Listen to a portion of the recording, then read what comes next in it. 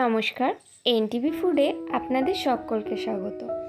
আজ আমি বানাচ্ছি রেস্টুরেন্ট স্টাইল বা ধাবা স্টাইল এগ মশালা। আর এই এগ মশালা কীভাবে তৈরি করছি, চলুন তার রেসিপিটা আপনাদের সঙ্গে শেয়ার করি। এই রেসিপির প্রধান উপকরণ ডিম, আর রেসিপি তৈরি করার জন্য লাগবে ফুল বয়েল ডিম, যার জন্য আমি ডিমগুলো একটি পাত্রে নিয়ে নিচ্ছি, বয়েল করার জন্য, আর দিয়ে দিচ্ছি এক চা চামচ পরিমাণ লবণ। তারপর ডিমগুলো আট থেকে দশ মিনিট ভালোভাবে সেদ্ধ করে নেব। তারপর ঠান্ডা করে এগুলো আমি ছাড়িয়ে নিচ্ছি। যেহেতু ডিমটা সেদ্ধ করার সময় লবণ ব্যবহার করা হয়েছে, তাই ডিমগুলো খুব ইজিলি ছাড়ানো যাবে। লবণের বদলে ভিনিগারও ব্যবহার করা যেতে পারে। এবারে ডিমের মধ্যে দিয়ে দিচ্ছি সামান্য পরিমাণে লবণ, হাফ চা চামচ হলুদ গুঁড়ো, আর দিয়ে দেব সামান্য পরিমাণে কাশ্মীরি লঙ্কার গুঁড়ো।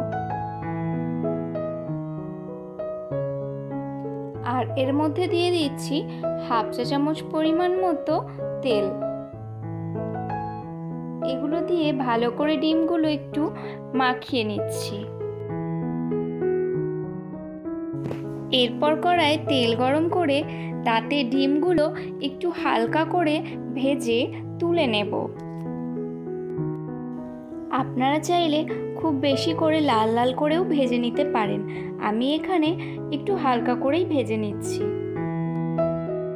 ডিমগুলো ঠিক এরকমভাবে ভেজে নিয়েছি, ডিমগুলো ভাজা হয়ে গেছে। এরপর আমি ডিমগুলো তুলে সাইড করে রেখে দিচ্ছি। এবারে লেপটোবার তেলে দিয়ে দিচ্ছি একটা বড় সাইজের পেঁয়াজ কুচি। পেঁয়াজ কুচিটা ভালো করে নাড়াচাড়া করে একটু হালকা ভেজে নেব।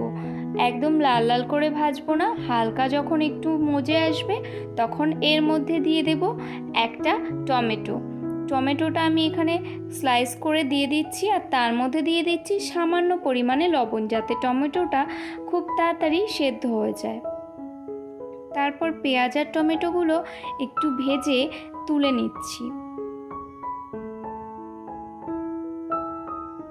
আমি এখানে একটা মিক্সি জারে এই ভাজা পেঁয়াজ, টমেটোগুলো তুলে নিচ্ছি এবং ঠান্ডা হলে তারপর আমি এগুলো একটা পেস্ট তৈরি করে নেব।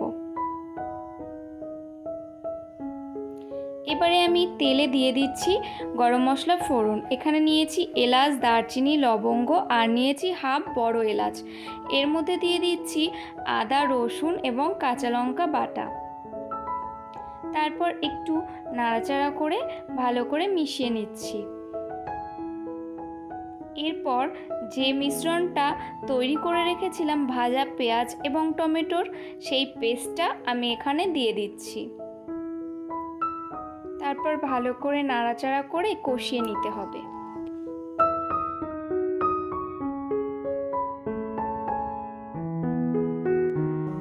মশলাটা কষানো হয়ে গেলে এর মধ্যে দিয়ে দিচ্ছি স্বাদ অনুযায়ী লবণ আর দিচ্ছি এক চা চামচ পরিমাণ হলুদ গুঁড়ো। দিয়ে দিচ্ছি এক চা চামচ পরিমাণ কাশ্মীরি লঙ্কার গুঁড়ো আর এক চা চামচ পরিমাণ জিরের গুঁড়ো। সমস্ত গুঁড়ো মশলা বাটা মশলার সঙ্গে ভালো করে মিশিয়ে কষিয়ে নিতে হবে।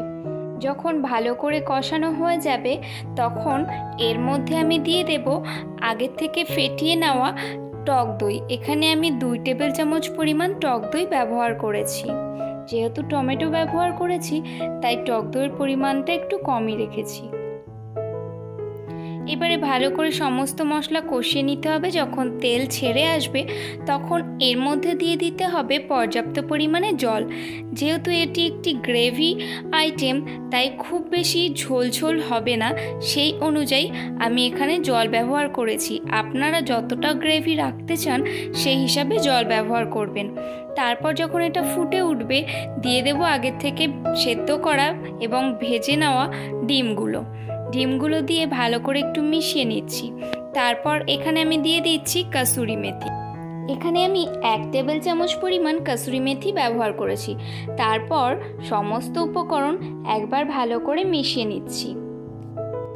আমাদের এগ মশালা প্রায় রেডি এরপর নামানোর আগে দিয়ে দেব গরম মশলার গুঁড়ো। তারপর গরম মশলার গুঁড়োটা ভালো করে মিশিয়ে নিলেই তৈরি আমাদের এগ মশালা। আজকের রেসিপিটা আপনাদের কেমন লাগল অবশ্যই আমাকে কমেন্ট করে জানাবেন। আর যদি ভালো লেগে থাকে, তাহলে একটা লাইক করবেন। অনুরোধ থাকবে চ্যানেলটি সাবস্ক্রাইব করার, আর বেল আইকন প্রেস করবেন পরবর্তী ভিডিও নোটিফিকেশন সবার আগে পাওয়ার জন্য।